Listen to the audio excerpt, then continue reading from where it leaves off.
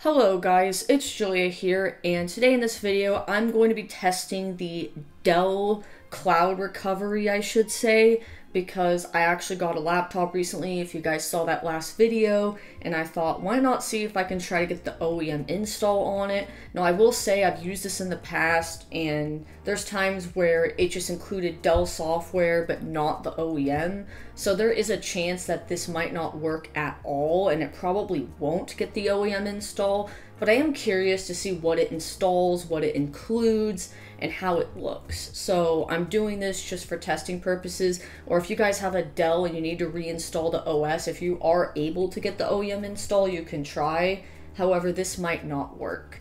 So anyways, we are going to download the Dell OS recovery tool and it tells you how to do it, you know, download the tool, make sure you have .NET, launch the tool. I mean, everyone has .NET though, but launch it, enter the service tag, select the OS you want to install. It'll create the drive. Be sure you obviously have the USB handy, and then you can install it with the with the drive, which we'll show in this video.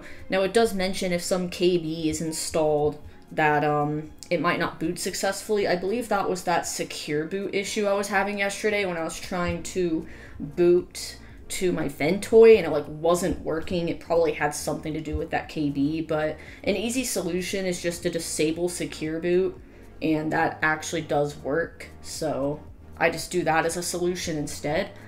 But we're gonna download this tool. So I'm just gonna save it and then I'm gonna run it. So yes, okay, we're gonna install it. Now it has an option to use another computer because obviously I'm doing I'm not doing this on the laptop. I'm actually doing this on as I'm creating this on my desktop. So it should install. Yeah, here it is. Um, Dell OS Recovery Tool.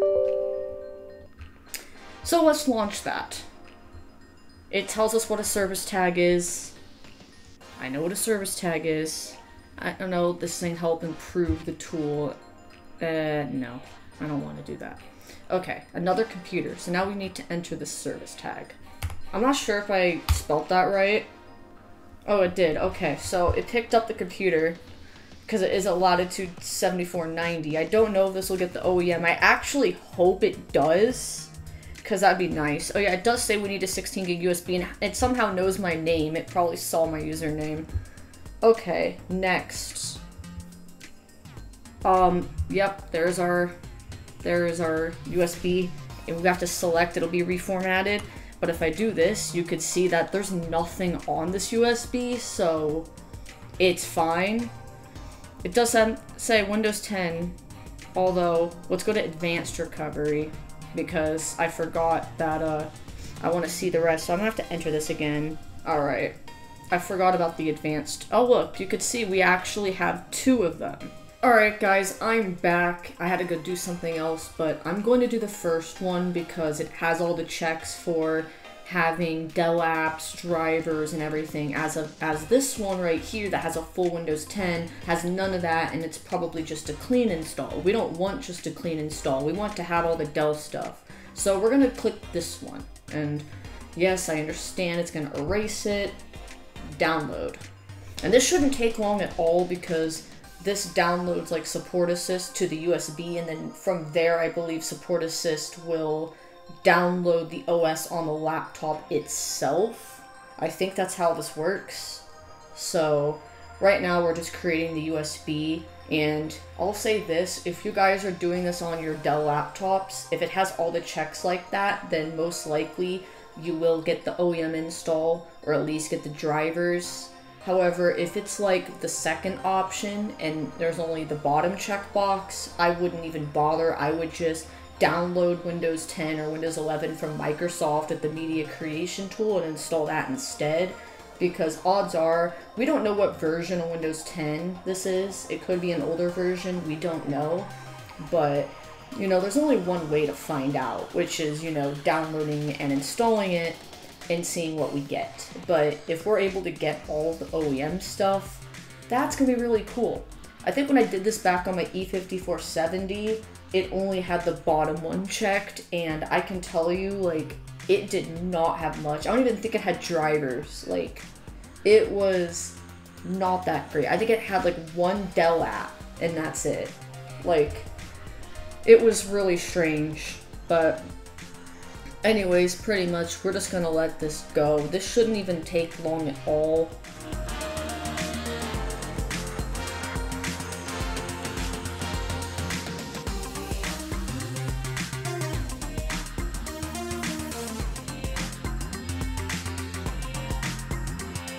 Alright, we're done. It's just saying how to do it, which I obviously already know how to do this, but it wants us to boot the USB. It tells us to press F12, which is the boot menu. We know exactly how to do that, so we don't need that anymore. So, also, this is what our USB looks like. We have our USB, it has files there, and then I don't know what it did with this, but there's just nothing there. Maybe it'll actually put the, um, image on here, I'm not sure, because it calls it media, but there's nothing in it, it's just blank. But I guess we'll find out once we do this. Alright, so this part is just me pushing F12, booting the USB from the boot menu, and then once I boot that, I'll be able to get into the Dell Support Assist recovery, so then we can actually reset the machine. So once I entered it, as you can see, it was like saying all this stupid stuff and I was just trying to get past it. But you'll click the reset in the bottom right corner that resets it to factory settings. And you guys can see it does require an internet connection. I didn't have it connected. I ended up selecting wired because I ended up using ethernet and that worked. So then you guys can see I had reset and update. That was the only option I had since it did the support assist where it downloads, which is why it needs an internet connection. So I selected that one, clicked next, told it, no, I don't need to back up my files because I had nothing important on the machine. And then it just tells you, oh, this will reset everything. Yes, I know, I'm very much well aware. Continue. And then I tell it, yes, I know it's going to reset it because it makes you confirm it again because, yes, it does erase your data. So then at that point, now all we have to do is sit back and relax, wait for it to reset, and all that stuff. Now, you guys will be seeing a time lapse of this. I end up showing some of the apps as well afterwards in the clips and also run a ton of Windows updates because it had a lot of updates afterwards and it actually had me run Windows Update, which I found interesting, which is actually good because you know, a lot of the time if you reset your computer, it's not going to be on the latest, or if you get a computer, it's not going to be. So it's good that the Dell Recovery actually got me to do that. So you guys will see in this time lapse just me resetting it, and yeah, so just enjoy the show, I guess.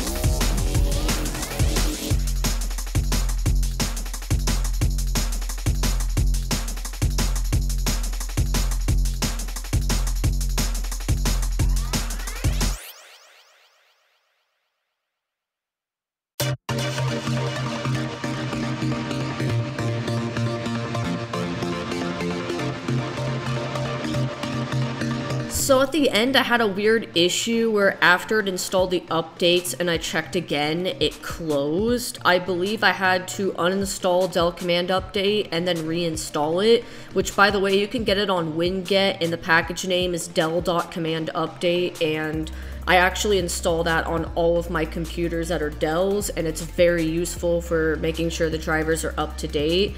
But anyways, if you guys just need a really easy way to reinstall Windows, this is a really good thing to do just to do the Dell Support Assist recovery. I did actually export the drivers from this install because I did reinstall the laptop recently with Windows 11 as I'm trying to migrate supported systems to it. Also, I would recommend uninstalling the Support Assist Recovery Assistant as it's not really needed anymore after the recovery and it always pops up on every boot, so yeah. Anyways, that's that. Once again, I'd like to thank our channel members, Samir Yoshizawa, also Marcus, DJ1i28, Ritu, KPO, The Full Moon, Dencorn, Zygvlogs, Leo, Andre Pardararu, Kamajita Tech, Real Viat Gina People, Overgreen, Cyclone, Carson, Fumomo Taka Dadia. Anyways, thanks for the support. I really appreciate it. And thanks for watching this video. Hopefully you guys enjoy this. Hopefully this helps you guys if you have Dells. And bye-bye for now.